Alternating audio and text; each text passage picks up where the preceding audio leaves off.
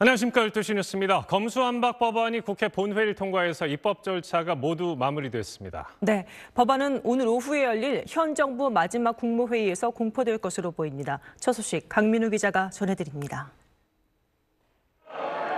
고성과 삿대질이 오가는 가운데 검수완박 두 번째 법안인 형사소송법 개정안이 국회 본회의를 통과했습니다. 형사소송법 일부 개정 법률안 대안에 대한 수정안은 가결되었음을 선포합니다.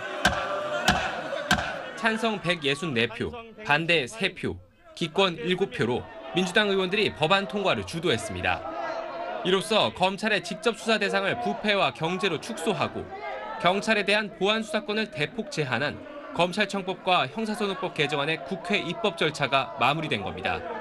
이와 함께 오늘 본회의에선 중대범죄수사청, 소위 한국형 FBI 설치 논의를 위한 사법개혁특별위원회 구성 결의안도 함께 처리됐습니다. 사개특위를 조속히 출범시켜 중대범죄 수사를 담당할 중수청 설치에 속도를 내겠다는 겁니다. 국민의힘은 입법 독재라며 거세게 반발했습니다. 유례없는 입법 독재의 날로 기억될 것이며 이 책임은 당연히 문재인 대통령과 민주당 정부에서 져야 할 것입니다.